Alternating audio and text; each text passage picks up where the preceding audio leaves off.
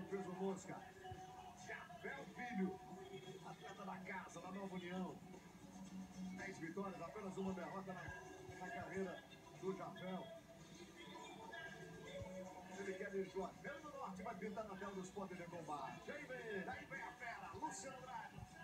Tá aí é o campeão jiu-jiteiro, ou seja, um cara do jiu-jitsu. Tem seis vitórias por finalização na carreira. Você já falou aqui, apenas uma derrota, Royce. Então, entra mais cotado aí pra vitória. Pra vencer, ele é o lado do Atlas Dias. Lutador deve ser, fez o pena, que foi pra aquele deu ali. O paninho, né? A bandeirinha com patrocínio. Isso? É. Bandeira com os patrocinadores.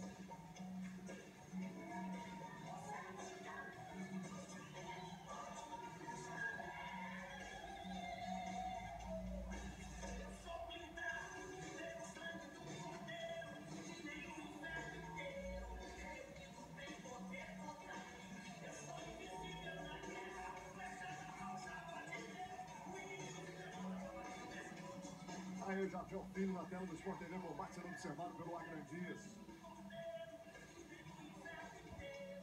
Atleta do UFC.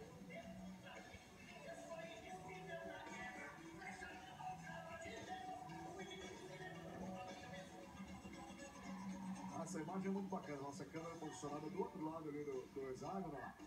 Aquela imagem da equipe ali em profundidade por trás da grade. Muito legal essa imagem aí. É, abraçando os Bela Marmota, tá ali o Acre, que é ser, já falei, abraçando o Acre agora, Giovanni Diniz, que é campeão de boxe daqui. Enfim. E final União. E agora o close do Jafel Filho recebendo a vaselina no rosto. Já tá com o protetor bucal, tá com um sorrisão ali, tá feliz, tá feliz o, o Filho.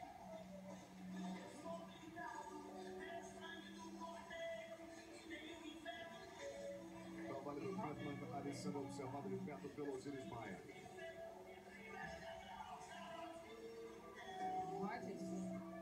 Oi, Cíntia.